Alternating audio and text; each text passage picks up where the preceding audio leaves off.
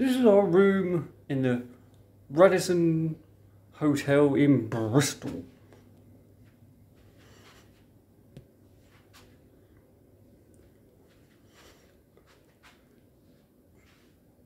Two beds.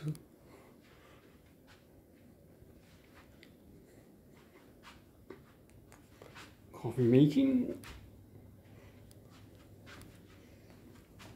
Bathroom.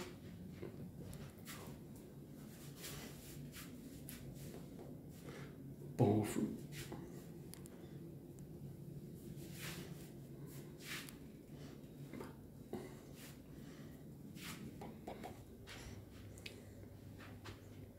And the view outside are